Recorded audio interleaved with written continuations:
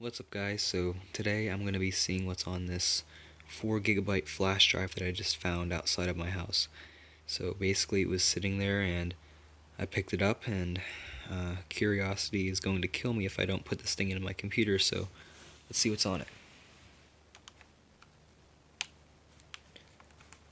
Oh, there we go. Oh. Fortnite skins. Okay, that's that's really interesting, guys. I mean, here's another one that says "click me." Uh, should I click it? Yeah. Okay. Wait, what's this? Oh no. Oh my.